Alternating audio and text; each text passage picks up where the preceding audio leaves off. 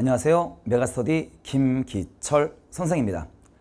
제 final 강좌 중에 하나 final 긴 지문 엑스레이 오리엔테이션을 시작하겠습니다. 일단 제목이 되게 의미가 있거든요. 긴 지문의 의미가 뭐냐면요. 평균적으로 영어 문장은 16줄 정도로 구성되어 있는데 문제 하나마다 7줄 이하만 모아놨어요. 무슨 말이냐면 예를 들면 대입항 문제요. 문장이 딱 4개밖에 없습니다. 문장이 4개밖에 없다는 얘기는 뭐야? 한 문장이 기본적으로 3줄, 4줄 이상이었다는 얘기예요. 그래서 아, 긴 지문만 있는 건데 유형별 문제 풀이구나. 자, 또 하나. 엑스레이가 되게 의미 있는 단어거든요. 제가 수업 시간마다 자주 하는 말이 하나 있습니다. 제발 강약 좀 조절해라. 물어보는 것만 대답하고 수식어구 원래 없는 거다. 자 무슨 말이냐면요. 엑스레이 찍으면 뼈대만 보이죠. 똑같습니다. 문제를 풀 때 잡정보를 다 빼세요. 자 무슨 말이냐. 주어 동사 목적어 보의 뼈대를 따라갑니다. 수식어구는 주절의 의미를 도와주는 놈에 불과해요. 수식어구 힘 빼고 뼈대만 따라가면 줄거리가 무조건 보입니다. 그러면 오답들이 날라가요. 그래서 이 제목을 괜히 붙인 게 아니에요. 아, 긴 지문의 의미는 아, 일단 문장이 길게 길게 나오는구나. 엑스레이는 아, 맞다. 잡정보를 빼면 답이 보이겠구나. 뼈대를 따라가는 공부입니다. 그래서 어떻게 구성되는 설명드리면 어, 일단은 1등급이 목표인 학생을 위한 강좌예요. 그 다음 이렇게 구성되어 있는데 1, 2강이요. 대입학으로 시작합니다. 이거 우습게 보시면 큰일 납니다. 일단 어려운 지문 되게 많습니다. 아까 말했지만 네 문장밖에 없는 지문들이 막 튀어나와요. 그러니까 해석에 몰두하다 보면 머리 하얘집니다. 근데 1, 2강이 제일 중요한 게 이때 요약하며 읽기 공부를 할 거며 이때 주제문을 찾는 방법을 공부해요. 이 공부가 돼야 나중에 결국에 빈칸 문제까지 풀 수가 있거든요. 그래서 1, 2강은 대의 파악이다. 그 다음 3, 4, 5, 6강이 되게 어렵죠. 뭐가 어렵냐? 이게 준 킬러 문제 중에선 학생들이 가장 어려워하는 유형이에요. 수능 35번의 무관문, 수능 30번의 밑줄 낱말. 자, 또 하나 보죠. 준 킬러에서 가장 어려워하는 게 장문 독해 특히 41번, 42번입니다. 만약에 무관문이나 어휘나 장문 독해, 물론 대입학 포함인데요. 여기서 만약에 한 문제를 틀렸다고요? 확률적으로요. 2등급 나옵니다. 1등급 나오기 힘들어요. 왜? 여기서 하나 정도 틀린 학생이 빈순삽과 업법 문제에서 과연 두 개로 끝낼까? 아니요. 더 틀릴 겁니다. 그래서 이 공부를 반드시 해야 돼요. 그리고 나서 7강부터 10강까지가 빈칸, 순, 삽 이렇게 구성되어 있습니다. 그리고 우리 교재가 어, 단행본이에요. 앞에는 수업하는 부분이고 뒤에 워크북이 같이 들어가 있거든요. 그러니까 단권화 시켰습니다. 수업하는 내용 뒷부분 가면 교재 뒤에 workbook으로 50문제가 또 개별적으로 풀 수 있게 만들어 놨습니다. 그래서 요 유형을 우리가 공부를 할 거고요. 수업 내용을 말씀드리면요. 준킬러와 킬러를 공부하는 마지막 final 유형별 문제 풀이입니다.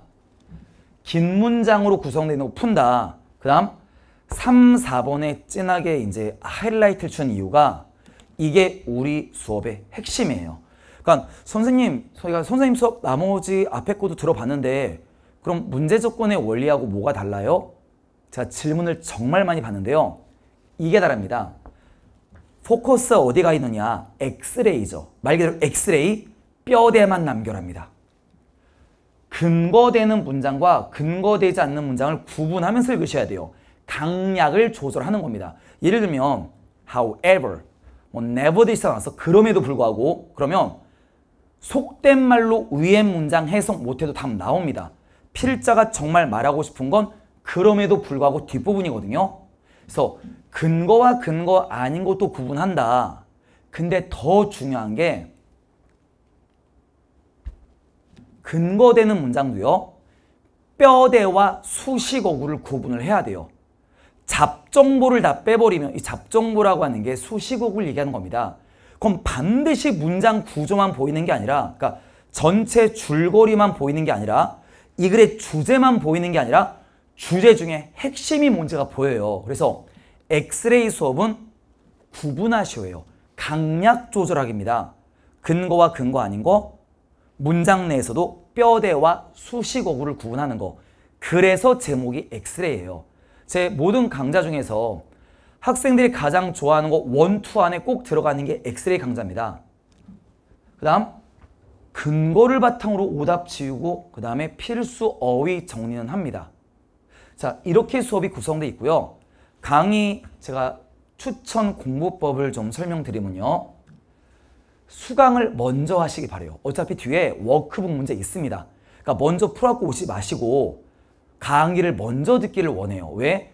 유형별로 제가 수업 시간마다 자주 하는 말 물어보는 것만 대답해라. 그게 중요하거든요. 문제를 어떻게 접근해야 되며 강약은 어떻게 줘야 되며 먼저 수업을 듣고 나서 체화하는 게 중요하기 때문에 강의를 먼저 수강하시고 어, 홀수 페이지로 이제 수업을 따라가면 돼요. 한 장 뒤로 넘기면 짝수 페이지에 같은 지문이 있습니다. 이거 교재 분량을 늘려고 하는 게 아니라 이게 포인트예요. 복습할 때 이게 왜 근거되는 문장이지? 이게 왜 주장문이지? 그거 찾는 연습하셔야 되고요. 더 중요한 게 이겁니다. 별 곱하기 500개입니다. 요약하면서 공부하는 거 뭐냐면 내가 수업 시간에 이렇게 이렇게 이렇게 뼈대 자 잡는 거야. 수거 빼고 요약하는 거 내 실력이지 여러분 실력이 아니란 말이에요. 복습을 할 때 필기해 놓은 걸 다시 보는 건 공부가 아니잖아요. 아무것도 표시되어 있지 않은 걸로 자기가 스스로 아 강약 주면서 요약하면서 읽는 연습을 해야 돼요. 그러니까 읽고 나서 요약을 하는 게 아니라 뼈대를 잡아가면서 읽는 연습을 해야 됩니다. 그럼 줄거리가 무조건 보이거든요. 그래서 이거를 복습하라고 교재 집어넣은 겁니다. 그래서 강의를 먼저 듣는다. 한 장 뒤로 넘기면 짝수 페이지에 이게 왜 답의 근거지?는 공부한다. 더 중요한 건 스스로 요약하면서 글을 읽어간다예요. 이게 성적을 미친 듯이 올릴 겁니다.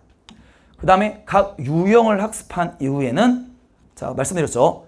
교재가 단행본이에요. 뒷부분에 워크북이 있는데 같은 유형의 문제. 만약에 저하고 이제 빈칸을 공부했습니다. 그럼 워크북에 있는 빈칸을 똑같이 풀어보시기 바랍니다. 자 이렇게 수업하면 분명히 구조 보이고요. 어?